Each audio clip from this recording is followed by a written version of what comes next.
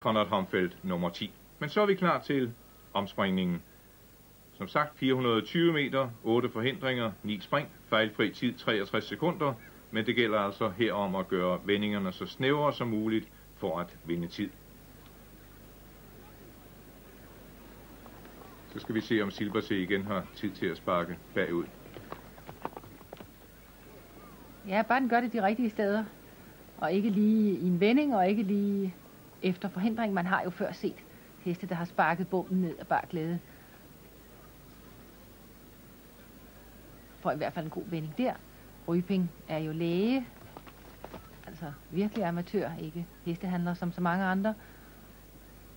Og lige lægge mærke til tiden her. 24-25 sekunder over denne forhindring. Det er et godt punkt at holde øje med på de næste ryttere. Og Silbersee kender vi i Danmark så godt, for han vandt det danske spring derby sidste år.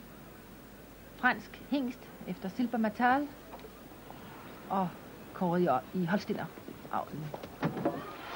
Oh, det var lige ved den der, men altså fejlfri, og tiden har de der 48,27, og det er altså den tid, der nu skal slås af de følgende ryttere.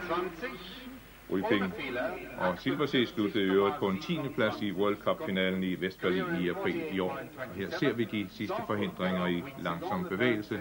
Her hvor det var lige ved at gå galt på den sidste forhindring. Ja, det er nemlig en svær afstand mellem næstsidste og sidste forhindring. Det går ikke bare at lade hesten løbe.